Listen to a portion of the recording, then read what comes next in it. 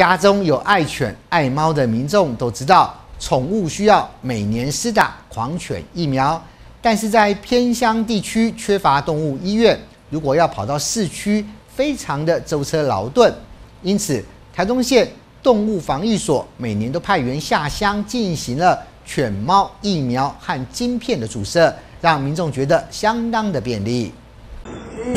兽医师以快很准的手法为毛小孩施打狂犬病疫苗，还有注射晶片。这次台东动物防疫所特别安排到金峰乡服务，也免去饲主还要跑一趟市区舟车劳顿。家里很多毛小孩，那如果说要前往市区一趟的话，大概都要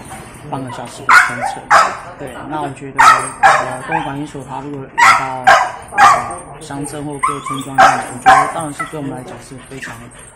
呃非常非常方便。家中有爱犬爱猫的民众都知道，宠物每年都需要施打狂犬病疫苗，但偏乡没有动物医院，因此台东动物防疫所每年派员下乡进行疫苗注射服务，执行超过十年时间，也让饲主对于爱猫爱犬的身体健康观念有大幅提升。这是怕小狗会咬别的别家的小孩，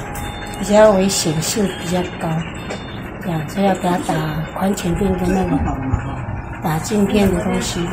长期来讲的话，他们第一个是至少说，他们他们第一个知道说，犬猫是每年都要每年都要打狂犬病疫苗。那另外去对绝育来讲的话，他们观念其实比以前也提升不少。以前他们可能会觉得说，